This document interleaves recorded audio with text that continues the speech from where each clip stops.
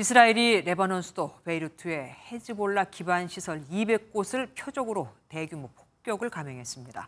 위신들은 이 폭격의 목적이 그러니까 표적이 헤즈볼라의 새 수장이라고 보도했죠.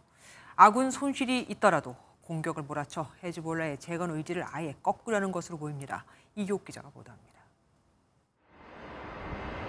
여객기 한 대가 착륙하자마자 공항 근처에서 연기가 피어오릅니다. 잠시 뒤 활주로 인근에서 밤하늘을 환히 밝힐 만큼 더 큰 폭발이 일어납니다. 현지 시각 3일 밤부터 4일 새벽 사이 이스라엘이 베이루트 공항 인근을 대규모 폭격했습니다.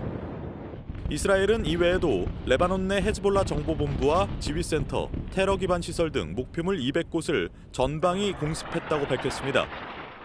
שלנו בלבנון מחסלים עוד ועוד מפקדים, עוד ועוד מחבלים.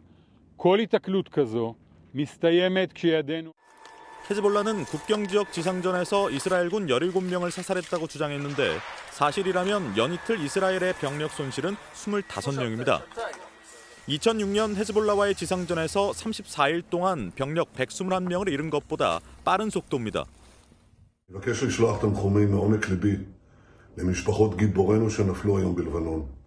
השם ייקום דמם, יהי זכרם ברוך. 아군 손실에도 이스라엘이 공격을 멈추지 않는 이유는 남아있는 헤즈볼라 지휘부를 제거해 조직 재건의 싹을 없애려는 것으로 풀이됩니다. 미국 매체 악시오스와 CNN은 이스라엘 당국자를 인용해 베이루트 공습이 헤즈볼라 새 수장 사피에딘을 겨냥한 것이라고 보도했습니다.